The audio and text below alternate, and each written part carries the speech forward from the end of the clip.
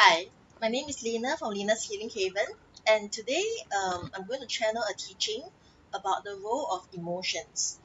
So, um, this is actually a topic that I often discuss in my workshops, and um, today the guides are going to offer a little bit something different. So, if you've attended my workshops before, know that it won't be the same thing. So, first of all, um, uh, we want to know why do we even have emotions in the first place? So basically, when we were in the form of souls, when we were souls in the divine realm, there are no emotions at all.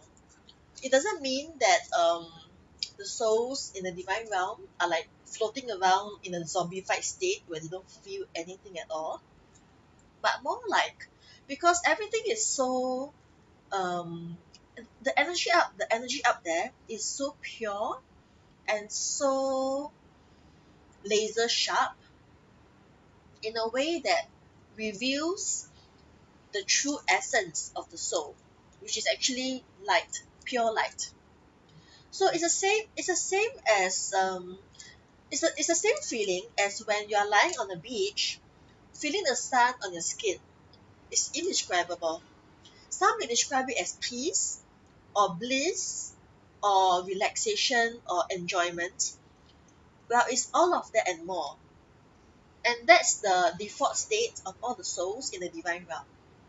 So why is it that humans have such a wide range of emotions from being depression uh, being depressed to the um, extent of being suicidal to um, complete indescribable um, utter bliss and joy well it's because when god decided that he wants to expand his awareness of himself by creating souls that would take a rebirth as humans in the human realm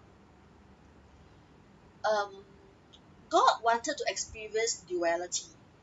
Because in the divine realm where god resides is only love only light but just like a fish that doesn't know what water is because it's always been surrounded by water god cannot fully appreciate what is love and light unless he's able to experience what is not love and light.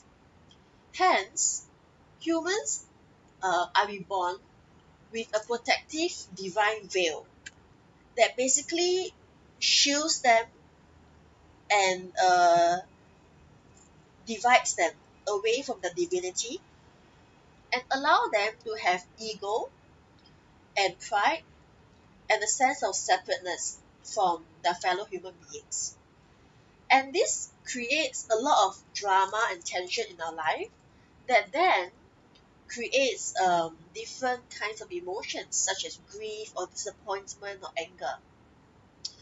And even though it's not pleasant to experience such emotions, but it's exactly what God wants because having anger then allow you to appreciate forgiveness.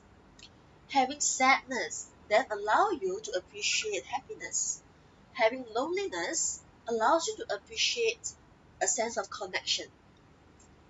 And all of these contrasting dualistic experiences allows God to fully understand the whole experience of the universe and of life.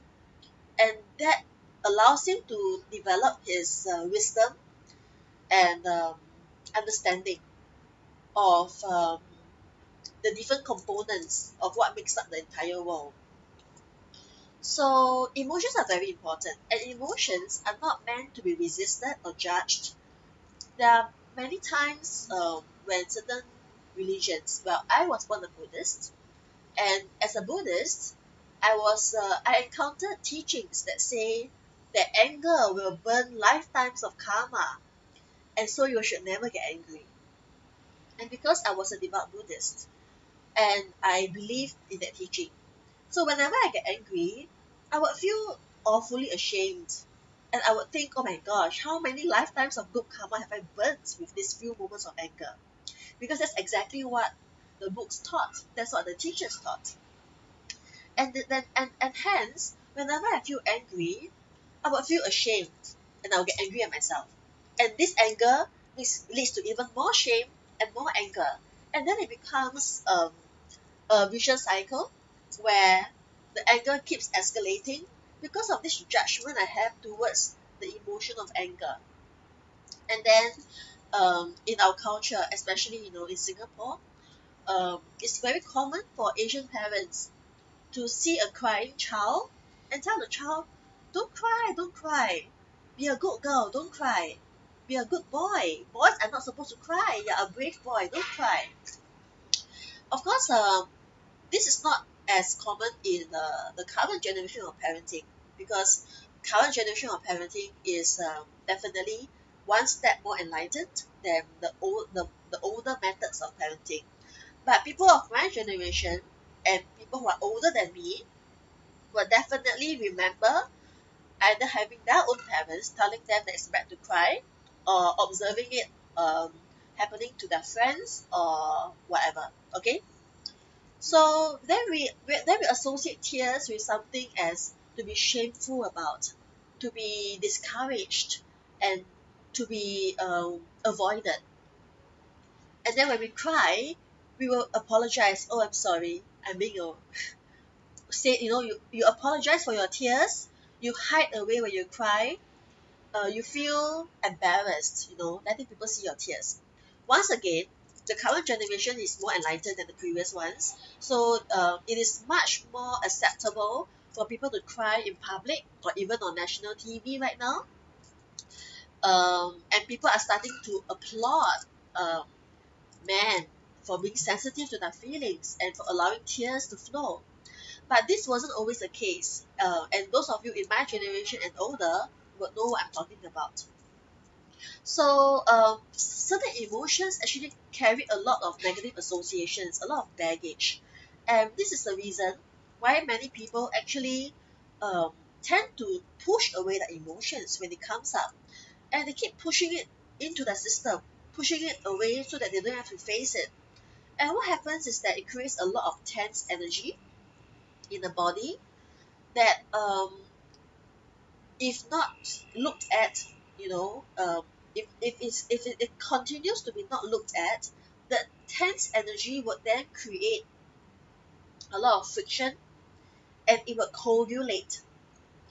Coagulate, just like milk coagulating to cream, the energy that used to be loose and fluid will start to coagulate and become very dense balls of energy that will eventually lead to uh, solid matter. And guess what will that translate to in the body? It means that you develop things like cysts, tumors, lumps, you know, stuff like that. Things which the body is not meant to have. So, okay, let's come back to the topic of what's the role of emotions. So basically, emotions are meant to be our teachers. It's our guiding post telling us what needs to be fixed in our lives. So the, the right now the guys are going to uh, ask me to cover five different emotions that will uh, that that are teaching us what we should be looking at in our lives, what we need to what we need to address. So the first one is anger. Anger is an emotion that comes up when you perceive that things are not fair in your life. Someone bumps into you and doesn't say sorry, you get angry because that's not fair. Your boss gives you a scolding because you came late and you think, hey, I came late because I have a valid reason. And you think that's not fair, you get angry. Things like that. So when anger comes up, there are I, one of two different approaches that you want to consider taking. First of all, check if it's okay. This is a question for you to ask yourself to decide which of the approach you need to take. The question is, is it really unfair? Okay? So, if it's really a situation that is objectively unfair, that if, if you tell this situation to 10 different people, okay, and these 10 people cannot be people who are forever on your side, and if all these 10 people agree that it's not fair, then what you need to do is to fix the situation. Okay? Either by challenging the other party or avoiding the other party if you feel that they are not the kind of people who would respond to being challenged. Or you could um, set up boundaries that will prevent other people from taking advantage of you. Okay? That's the first approach, fixing the situation. But if you ask the question, is it really, really unfair? And you get the and you get the answer, no. Actually, it is completely fair. You came late to the office, and the and the boss is basically paying money to someone who's absent in the office. Is that fair to the boss? Not at all, right? So he scolded you, but it's fair.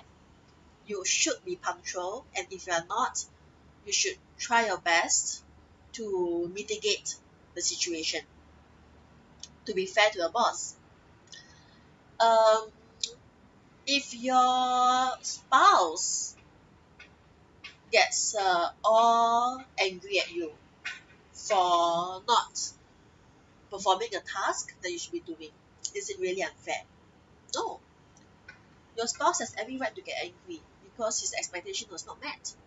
It doesn't mean you have to meet his expectation, but it's completely fair and justifiable for your spouse to scold you. So, if it's really a situation that is not that objectively unfair, that you can find a reason for why it happened that way that is acceptable and logical, then you should uh, re- reframe your perception of the situation. And by changing the perspective, you allow the anger to simmer down. Okay? So this is uh, what anger teaches us to do. To fix things that are not fair and to fix our perceptions when it's only just our perception. Okay? Second emotion is sadness. Sadness is the emotion that comes up when something dear to you is not with you. Okay, be it uh, an object, a prized possession, or a loved one. Sadness is an emotion that comes up when you have not taken care of your heart enough. So when sadness comes up, and if you are not able to regain connection to whatever that is missing in your life that leads to the sadness, then you should uh, make efforts to take care of your heart by doing things that make your heart feel good. What makes your heart feel good? Certain uh, uh, uh, there are uh, various options such as singing, dancing, exercising, watching comedies, uh, talking to a good friend or loved one, and meditation. I mean, there are many other options as well, but what I've listed are the most common ones that will make a person's heart feel good. Okay?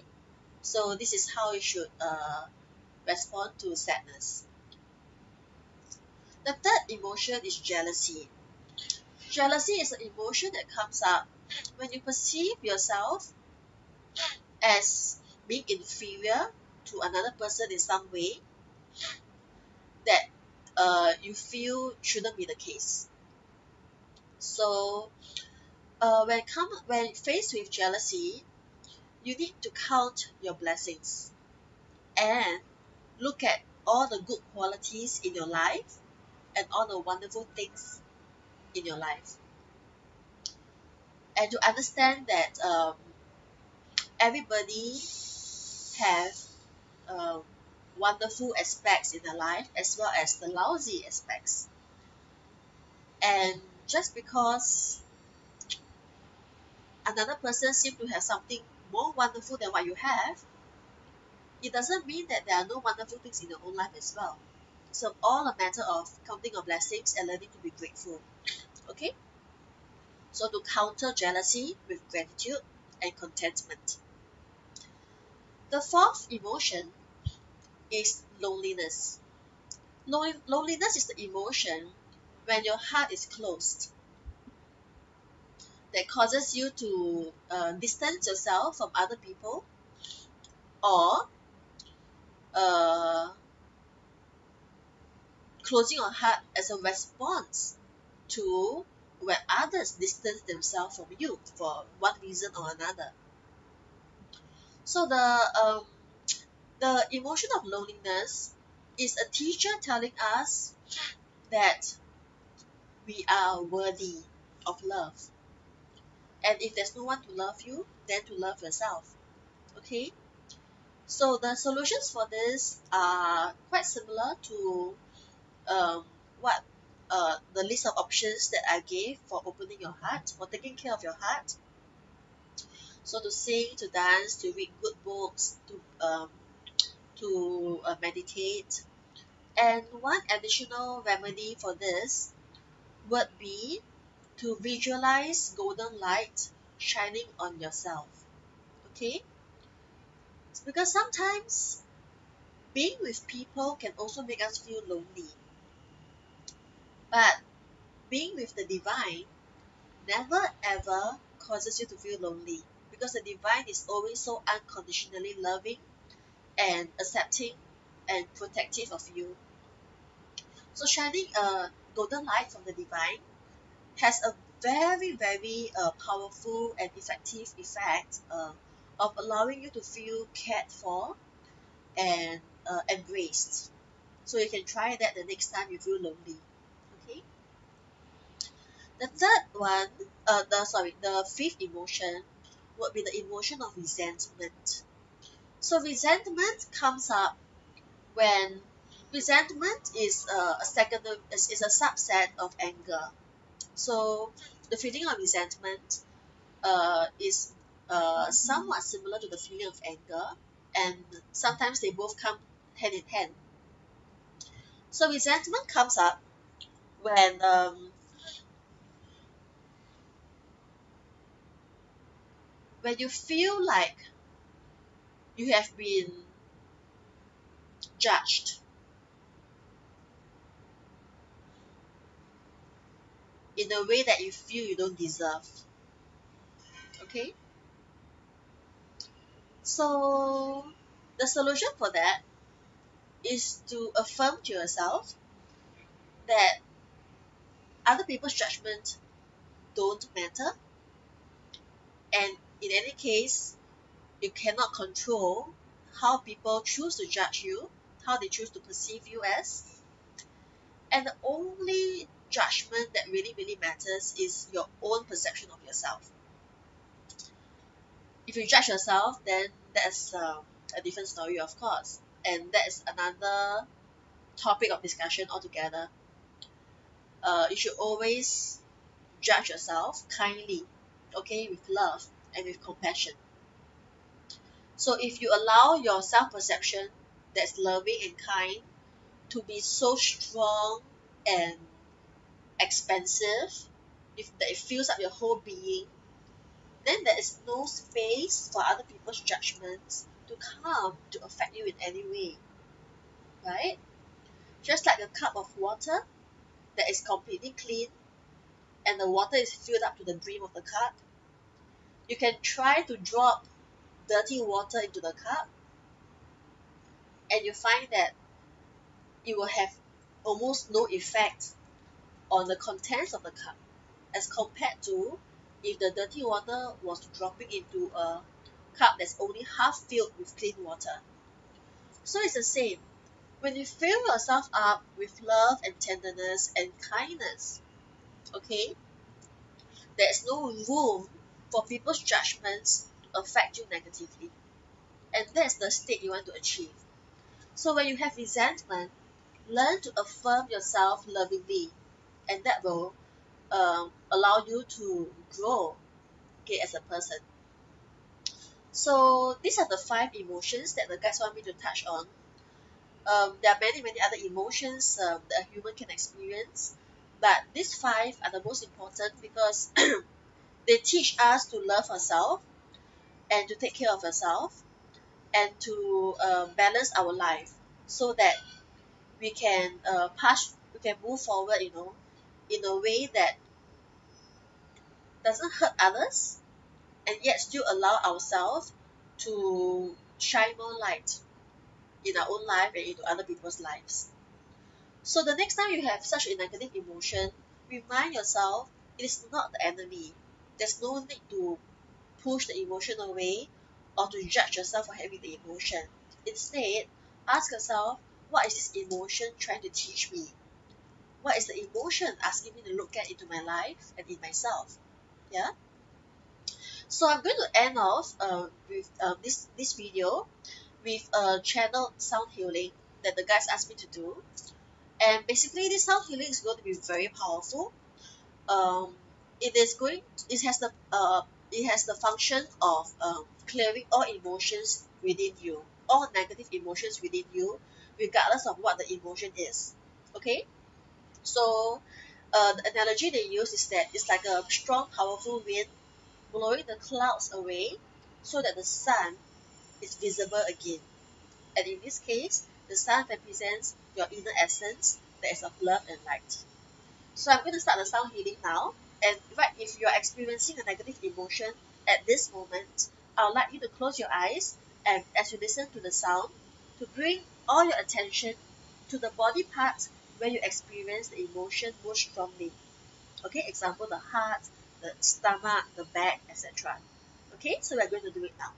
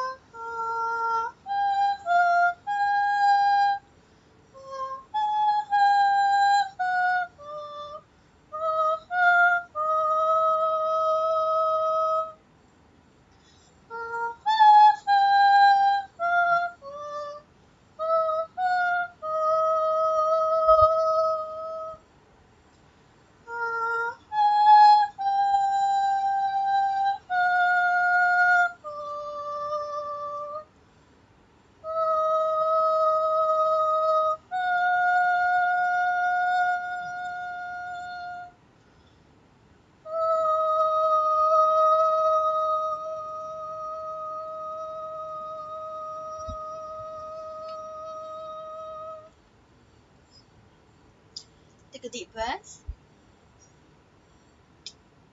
Okay, and that's it for today. So thank you for watching and I look forward to seeing you in my next video. Bye.